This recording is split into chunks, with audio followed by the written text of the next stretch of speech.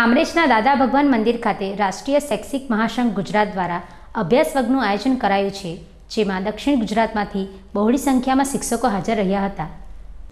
કામરેજના દાદા ભગવાન મંદિર ખાતે રાષ્ટ્રીય શૈક્ષિક મહાસંઘ ગુજરાત દ્વારા દક્ષિણ સંભાગ અભ્યાસ વર્ગનું આયોજન કરવામાં આવ્યું છે.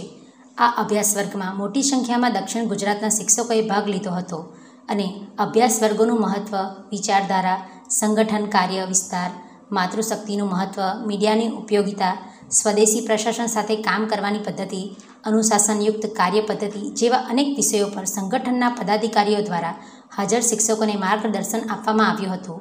તેમજ ગુજરાતના તમામ શિક્ષકોના પ્રશ્નો સહિત અનેક રચનાત્મક કાર્યોની પણ ચર્ચાઓ કરવામાં આવી હતી. આ કાર્યક્રમ બે દિવસ સુધી ચાલશે. Bureau report Jansakshi news Bardoli.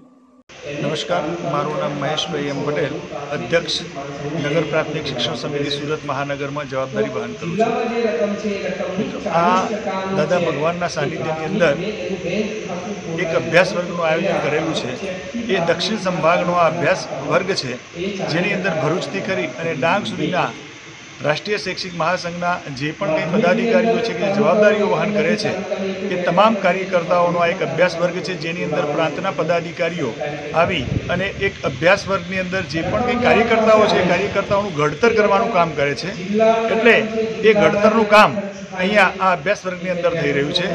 અને આ અભ્યાસ વર્ગની અંદર ફક્ત રાષ્ટ્રના ઘડતરની સાથે સાથે સમગ્ર દેશનું ઘડતર થાય અને મહાભારત માતાને પરમ વૈભવ સુધી કઈ રીતે આપણે લઈ જઈ શકીએ, એની પણ વિગતે ચર્ચા વિચારણાઓ થઈ રહી છે અને એનું પૂરેપૂરું માર્ગદર્શન પણ પ્રાંતના પદાધિકારીઓ મારફતે મળી રહ્યું છે.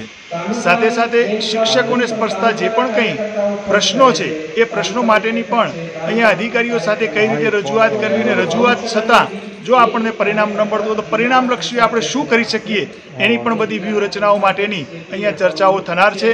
આ વર્ગ બે દિવસ સુધી ચાલનાર છે અને બે દિવસના વર્ગની અંદર અલગ અલગ દસ સેશન ચાલશે અને દસ સેશનની અંદર અલગ અલગ દસ વક્તાઓ છે અને દસે દસ વક્તાઓ સમગ્ર કાર્યક્રમના ભાગરૂપે અહીંયા કાર્યકર્તાઓનું ઘડતર કરશે અને ઘડતર થયેલો કાર્યકર્તા પોતાના જિલ્લા કે પોતાના સ્થાને જઈ અને સમગ્ર ભારત દેશનું જે નાગરિકોનું ઘડતર કરવાનું છે, એ ઘડતરનું કામ પણ કરશે.